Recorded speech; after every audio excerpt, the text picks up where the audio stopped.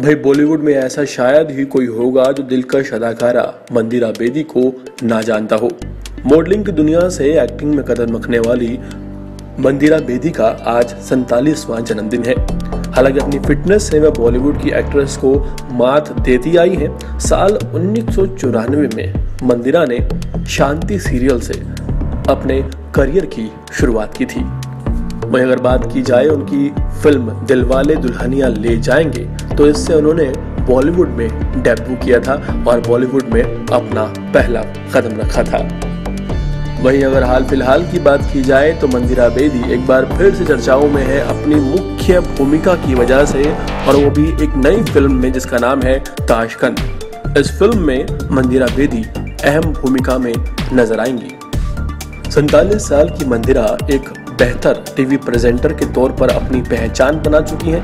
वो fashion designer है और इसके अलावा मंदिरा एक अच्छी एक्टर भी हैं और साथ ही साथ वो योगा भी करती हैं। वही आज मंदिरा बेदी का सैतालीसवा बर्थडे है और हम आपको बताने जा रहे हैं एक ऐसे बयान के बारे में, जिसके बाद मंदिरा बेदी खासी चर्चाओं का विषय बन गई थी।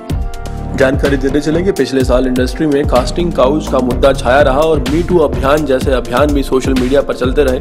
इस पर उन्होंने कहा था कि मैं बीते 24 सालों से मॉडलिंग और फ़िल्म इंडस्ट्री में काम कर रही हूँ, लेकिन मुझे आज तक किसी ने इस तरह का कोई ऑफ़र नहीं दिया। ये तभी संभव होता है जब दूसरा इंसान समझौता करने के लिए तैयार हो जाता है ये हमेशा दो तरफा रहता है। साफ़ तौर पर मंदिरा बेदी का यह कहना था कि जो भी अभिनेत्रियाँ या मॉडल्स आरोप लगा रही हैं, उन लोगों पर जिनको वो कहती हैं कि वो मी टू अभियान के तहत उनके साथ कुछ गलत कर चुके हैं, वो खुद जिम्मेदार हैं इस बात के। हालाँकि ये बात कितनी सही है, कितनी गलत, इस बात का विश्लेषण करना ज़रूरी है, लेकिन फिर भी अगर बात की जाए, इस बयान की तो इस बयान के कारण मंदिरा बेदी खासी सुर्खियाँ बटोर चुकी हैं और चर्चाओं में रह चुकी हैं।